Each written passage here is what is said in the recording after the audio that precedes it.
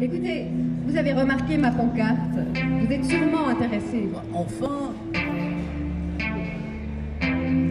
Vous avez peur, c'est tout. Vous avez tout simplement peur. euh, non, je n'ai pas peur. Alors venez boire un verre, Edna. Eh bien, Venez. bon, très bien. Je serai là dans un quart d'heure.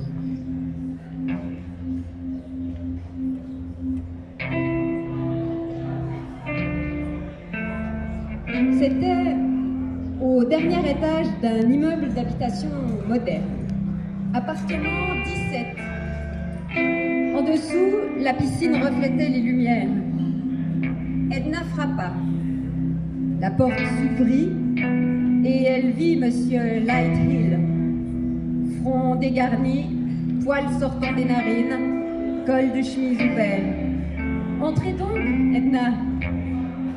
Elle entra et la porte se referma derrière elle. Elle portait sa robe bleue en tricot, une paire de sandales mais pas de bas. Elle fumait une cigarette. Asseyez-vous. Je vais vous préparer un verre.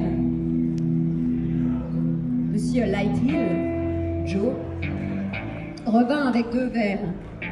Il tendit le sien à Edna, puis s'assit dans un fauteuil en face d'elle. Oui, dit-il, il fait une chaleur infernale. Heureusement que j'ai l'air conditionné. Ah, j'ai remarqué, c'est très agréable. Buvez. Ah oui, Edna a bu une gorgée, c'était bon, un peu corsé, mais ça avait bon goût. Elle observa Joe euh, pencher la tête en arrière en buvant. euh, de profondes rides sillonnaient son cou. Il flottait dans son pantalon, beaucoup trop grand pour lui. Ça donnait un air bizarre à ses jambes. Vous portez une très belle robe, Edna. Elle vous plaît? Oh oui. Et puis vous êtes potelée. Elle vous va au poil. Vraiment au poil.